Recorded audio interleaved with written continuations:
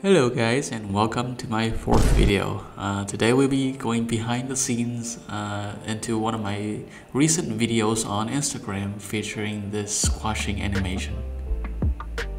Okay, so I'll show you guys how this project uh, actually started with this sketch right over here. I, I don't even know what this is, but it's basically it's just like a ball being squished in the middle of two uh, two things. And yeah it's, uh, it's saying you know it's pretty much saying it's all about the execution. Ideas are cheap and it's about how you execute it. Yeah oh and check this out. Hey hang on. Look at this. How big this pencil is okay. Look like just a normal pencil right? Yeah. Check this out dude. Uh, green what is that? Green? Look at this. Oh Oh, it's starting to turn, uh, this is blue, right? It's starting to turn green, oh yeah.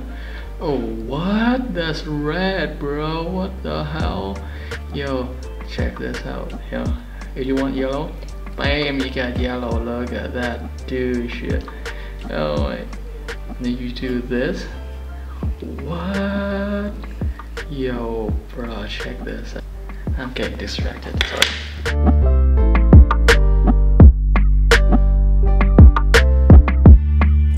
So this project actually started out with me drawing a uh, ball using a, the ellipse tool.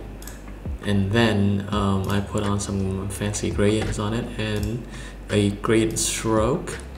And then I sort of varied the gradient stroke from one point to the other using the taper tool to make it looks like it has some sort of a, a rim light and yeah then I just imagine you know what sort of a fun thing would be to do to it. Then I thought to myself that I never uh, done squishy squishing action animation before. So that's what I try to do over here. Okay so next I'm gonna break down the uh, overall color that I chose for this ball the actual gradient underneath all the um, post-production color grading is actually pretty light. It's just a, a, small shape of purple over here combined with that uh, taking a little bite out of the blue and then also some purple in the back as well. I actually chose those uh, light color because I thought I would be doing most of the uh, color correction and you know composition uh, in post-production so you know I uh, most of the uh, color correcting stuff happening is actually happening over here and there's two layers. Uh, I got some chromatic aberration over here to make everything look soft and obviously I have to add some grain as well over here. I'm gonna show you the stroke. Here uh, is actually a small tip over here. If you don't know how to get rid of these lines uh, surrounding a shape. One, you're gonna go down here to this uh, toolbars below the uh, preview screen and then there's a button called toggle mask and shape path visibility, visibility. Click on that and the path line will disappear. Yeah, pretty neat and we will, it will show you the uh, uh, gradient stroke behind underneath as well.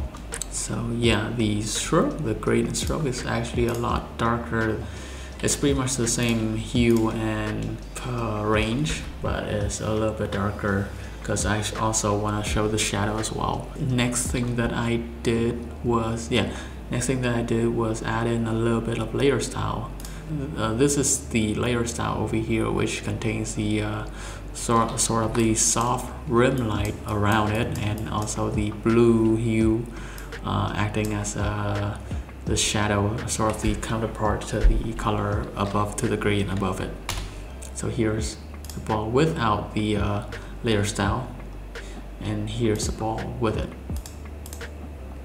So yeah, uh, what the layer style contain is the uh, obviously I'm gonna have, gonna have to mess with the shadow, the inner glow, which is gonna be the, the rim light around it.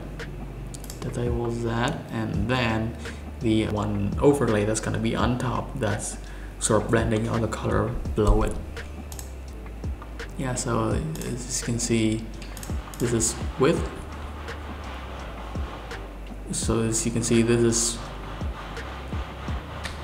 Uh, right, so the next thing that I uh, wanted to do was figuring out um, all the uh, actions and all the movement and everything and drew out these two these two fingers using uh, the shape layer pen tool yeah and then I also applied the same gradient uh, setup and the uh, layer style setup to it.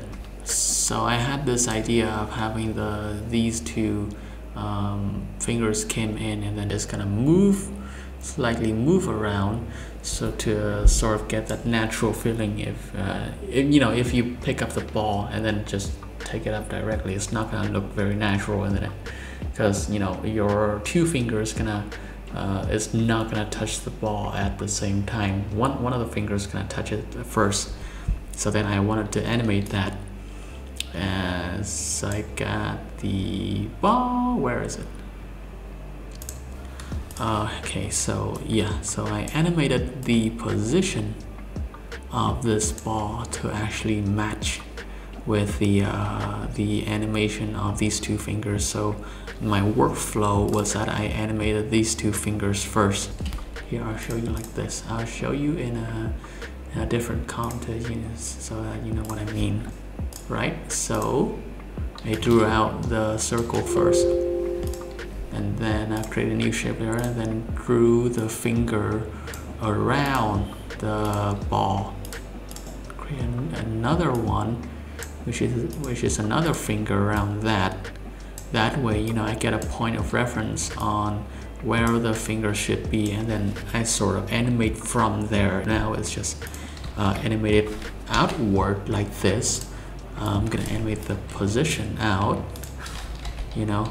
This one also position outwards. When it comes in all it's gonna do is touches the ball around here slightly around here uh, position that we've already drawn that's how I did it. And obviously I offsetted the two fingers a little bit so this one comes in sooner. This uh, finger over here actually comes in sooner than this one. So that's the one touching the ball. And then when it touches the ball it kind of its impact on the ball is going to push the ball and this finger over to this side and that's when I uh, animated the this position of the ball. Uh, what I did then was having the, these two fingers over here parented onto that uh, ball so that you know when it's rotate around it's also rotating the two the two fingers. Do that yeah. And as this being rotate I also animated the gradients as well.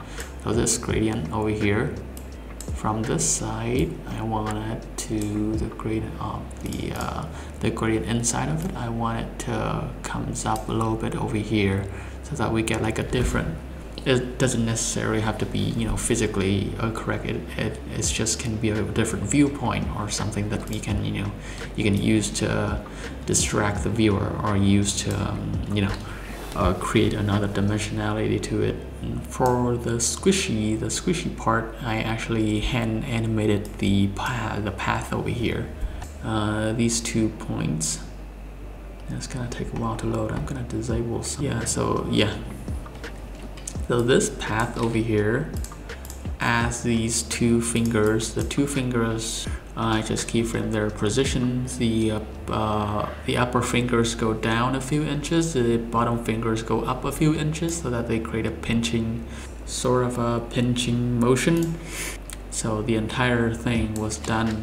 Uh, it's not not exactly frame by frame actually, but it's just like I keyframe the uh, starting and the end point of the animation and I just kind of measure uh, how they're when the when the upper point is touching the uh, upper finger when the uh, bottom point is touching the bottom finger and then just I could just you know I sort of eyeballing them from that using the curve animation. So you know if uh, you know if the fingers over here and the ball is being being squashed uh, a little bit faster, you know, and I just drag up the then I just drag up the curve in the graph editor a little bit so that it so that it looks like it's following the fingers. And it gives us uh, some pretty quick results as well. And also I animated some overshoot over here.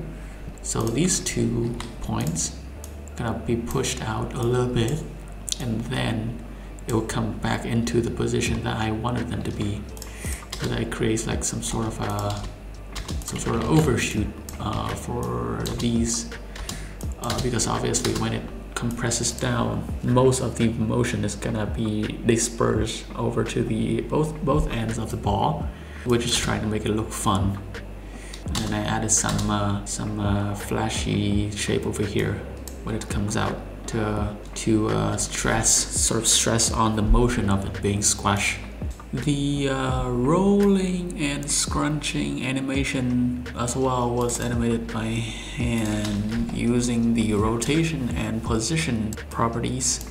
Uh, what I did was I put the anchor point at the top part of the finger so you know obviously when you roll it the uh, most of the motion is not coming from the tip of your finger but uh, instead it's coming from this part over here which makes it makes it look like sort of uh, sort of like sort of like one of those construction thing where the uh, the head of a digger is moving around doing a thing, you know, sort of sort of like that when you roll when you roll something around in your fingers.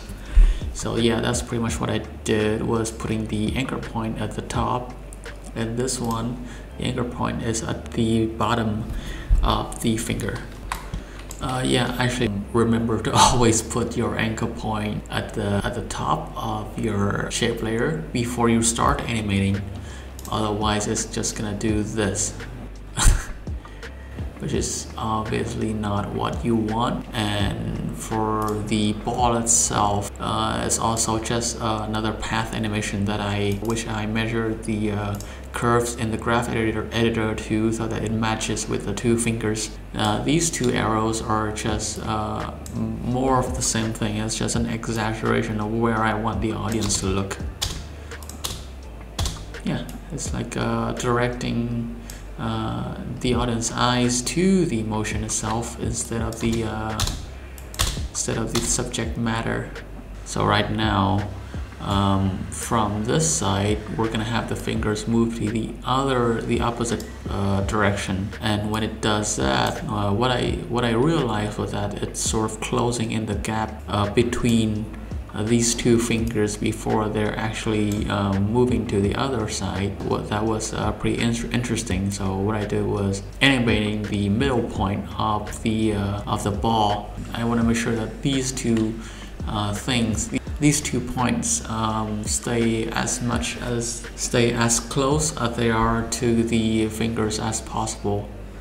Because obviously without that point you know I'm gonna try and delete that point a little bit. Without the, that point you know those uh, those two those two points uh, it's gonna make the ball look like it's going through the fingers because these two points uh, without that keyframe it's gonna look for the closest or the fastest path to go from this position to that position and you're just gonna completely ignore what's going on in here where the two fingers sort of close in so that's why I added that uh,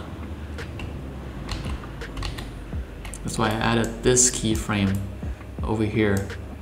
Uh, yeah. And the rest uh, the rest of the video is just me uh, going back and forth uh, of, uh, with the motions stuff like that uh, by copying the keyframe and then uh, uh, scrunching them down making sure there's less gaps between them reversing all the all the motion that I had in the beginning all the gradients all the start point end points position scale rotation stuff like that you're you're kind of seeing that the fingers I kind of kind of have the fingers uh, in a different composition.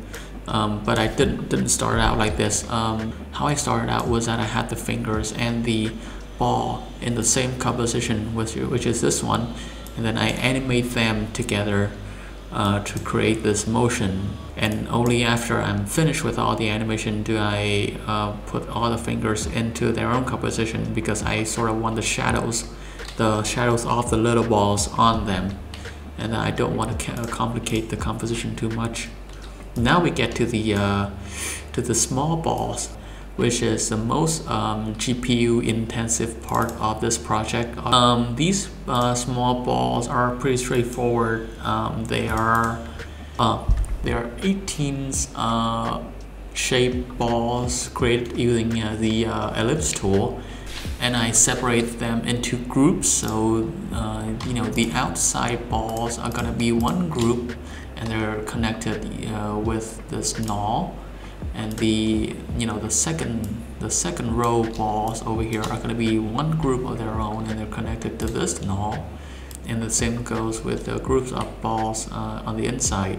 The reason why I did that was because I wanted these balls to uh, rotate along with the motion of the fingers because I want them to rotate but uh, at certain at different points between each other so you know you kind of see these balls are moving around a little bit and that's that's mostly due to the wiggle expression that I put in the, the position properties of each of the ball. So each of the nulls have the same uh, rotations properties, the same rotation keyframes. The only difference is that they're offsetted by a couple of frames. So when they rotate around, they're gonna have a little bit of offset between them just to make it look more interesting. Uh, and this all this timing of the animation actually happened before I pre-comp this so you know they're all happen in the, in the same composition before I comp this in as a separate comp. And then I added the echo effect uh, sort of spicing up a little bit and this happens way after everything is done because it, it takes quite a while to render as you can see here I'm gonna get to a frame where it's most visible starting to show up a little bit over here. Um, look, it looks looks kind of interesting, and I like the echo effect. It gives you a lot of uh, a lot of variety between the motion, but with pretty intensive uh, GPU usage, and also it takes time to get it down, get the frame rate of the ball, only the frame rate of the ball down to 15 frame per second. Uh, just you know animating and just um, experimenting with the style a little bit. So here's how it looks like uh, in 24 frame per second, which is the uh, FPS of the entire composition. And now when you have posterized that down to 15 per second, now it looks like it's more of a, a classic animation which is like a totally different style from what we had in the background. And I think that's you know that's just a, a good blend of styles there. And I added also added a deep glow as well to make the, those balls stands out a little bit and you know I gotta make sure to do all this after I've done with all the animation. Because they're they're gonna take a while to render. So yeah that's pretty much it about this uh, project of mine. Uh, you want to see it in full you can check it out on Instagram and I'm gonna a, leave a link down below. And yeah catch you in the next one. Thank you so much for watching. Bye bye